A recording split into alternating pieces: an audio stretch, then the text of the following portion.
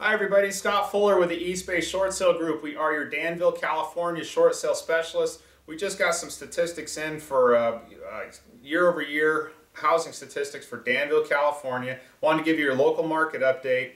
Um, new listings has actually increased about 6% from last October to this October. Last October there were 51 new listings on the market in Danville. This year there's 54, so that's a slight increase.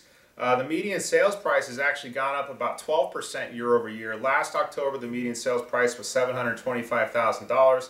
That's increased to about $808,000. Doesn't necessarily mean that home prices went up 11.5%. Basically means that the average price of homes that have been sold have increased a little bit more. Higher priced homes have sold uh, last this year than last year. The total inventory of homes for sale last year was 189. The total inventory of homes for sale in Danville this October is 66. Huge decrease, about 65% decrease. Less homes on the market for sale this October than last October.